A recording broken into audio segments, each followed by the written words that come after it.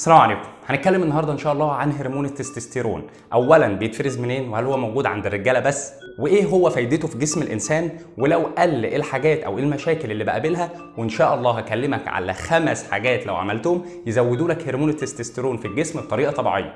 معاك دكتور أحمد الشامي دكتور علاج طبيعي ولو أنت أول مرة تشوفنا يا ريت تنزل تعمل like و subscribe للقناة وتفعل الجرس عشان توصلك الفيديوهات اللي بنعملها بإذن الله على مدار الموسم سواء فيديوهات كورة سواء فيديوهات علاج طبيعي سواء فيديوهات تغذيه علاجية كل الكلام ده إن شاء الله. لو عملت سبسكرايب وفعل الجرس عشان يوصلك اللي بنعملهم فيهم بإذن الله.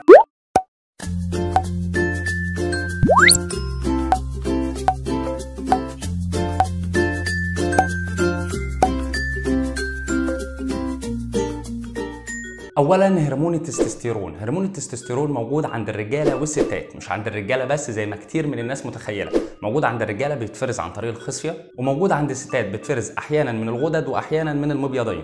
طبعا ليه فوائد مهمة وليه أهمية سواء هنا أو هنا. عند الرجالة مهم عن تكوين الكتلة العضلية فبالتالي الستات أو البنات مهما يلعبوا في الجيم صعب يتكون لهم كتلة عضلية صعب يكونوا معضلين ومش عارف إيه. طبعا بنشوف ناس كتير بنات حتى إحنا ممكن نكون شفنا عندهم عضلات كبيرة. ده نتيجة إن هرمون التستوستيرون بيكون زايد عندهم لأن المسؤول الأول عن تكوين العضلات هو هرمون التستوستيرون عند الرجالة وبالتالي وجوده عند الستات بيبقى خلل أو حاجة. مسؤول عن توزيع الدهون في الجسم.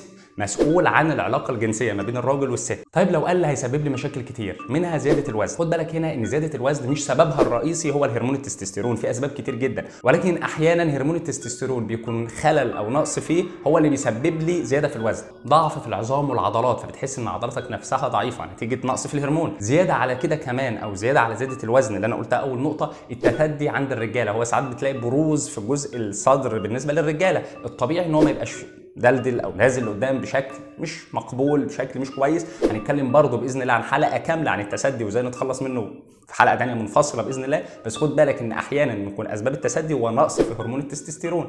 أهم أهم أهم مشكلة بتواجه الناس ضعف في الانتصاب نقص أو نقصان في حجم السائل المنوي وضعف في القدرة الجنسية. الثلاث نقط دول مهمين جدا أثناء العلاقة الزوجية مهمين جدا أثناء يعني عشان الحمل أو الكلام ده فنقصهم أو لو حصل خلل فيهم ساعات بيأخر الإنجاب وساعات بيحصل مشكلة فيهم. بالإضافة إلى تقلب في المزاج فأنت ممكن تبقى في مرة فرحان قوي وفي نفس الوقت تقلب مكتئب مرة واحدة. أيوه ساعات الهرمونات بتلخبط برضه عند الرجاله طيب إزاي ازودهم في الجسم بشكل طبيعي؟ أول وأهم نقطة هو خد راحتك أو خد كفايتك من النوم. عندك سبعة من 6 ل 8 ساعات في اليوم نامهم. ونام بالليل واصحى بالنهار. ما تقلبش نظام نومك. خد بالك إن الحاجات دي مهمة والنظام اليومي بتاعك مهم علشان على الأقل تزود أول نقطة فيه. تاني حاجة الرياضة والرياضة هنا أهمهم رفع الأثقال. رفع الأثقال بتزود هرمون التستوستيرون في الجسم بشكل طبيعي. خد بالك برضو إن رفع الأثقال هيزود لك الحرق عندك. طيب أنا استفدت إيه من زيادة الحرق؟ استفدت إن الدهون هتقل وإن وجود الدهون في الجسم بيشتغل بالسلب أو بيعمل مشاكل مع هرمون التستوستيرون في الجسم. فالدهون بتعمل مشاكل مع هرمون التستوستيرون. فلو قللت الدهون هرمون التستوستيرون يبقى بالمعدل الطبيعي بتاعه ما يحصلش فيه مشكلة.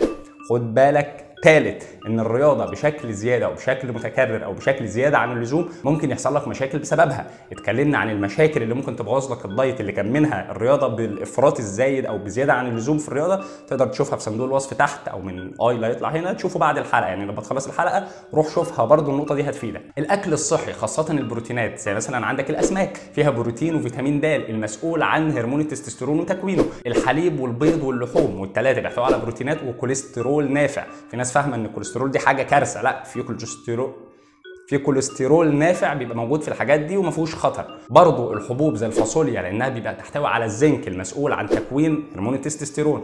طيب أنا قلت إن فيتامين د في الأسماك. طيب إيه المصدر الرئيسي لفيتامين د؟ الشمس. تعرض للشمس. تعرض للشمس الصبح من بعد الشروق كده لحد الساعة 7 أو حاجة ساعة أو ساعة ونص من بعد الشروق عشان تكون الشمس في وضعات طبيعي إن ما يحصلكش مشكلة. لأن لو زودت أو قعدت من بعد كده بتبدأ الشمس يبقى فيها أشعة ضارة ومشاكل تسببها لك. فأنت هتقعد في الحبة الأولانية من الصبح. بتقلل القلق والجهد عندك عن طريق إنك بتحاول تبقى بارد شوية وتشغل مروحه على قلبك كده وما تعصبش نفسك. لأن كل ما تتعصب كل ما هرمون الكورتيزول أو هرمون الضغط هيزيد عندك وده لو زاد بيشتغل عكسي. أنا هزود الضغط أقلل لك التستوستيرون. فخد بالك إن العلاقة الشخصية أو أو ال mood العام أو المتقلب المزاج ممكن يعمل لك مشكلة في علاقتك الزوجية نفسها ممكن يعمل لك مشكلة في نقص هرمون التستوستيرون.